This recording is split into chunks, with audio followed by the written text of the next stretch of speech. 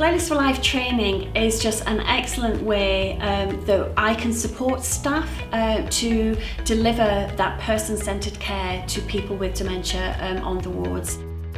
The staff said about experiences of singing along, dancing with patients, chatting about music, that it really helped them to get to know that patient as a person and not just a patient with a diagnosis.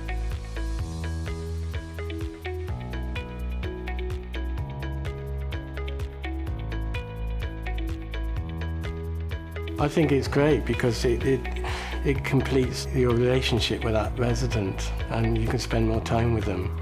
And this is what nursing is all about, really.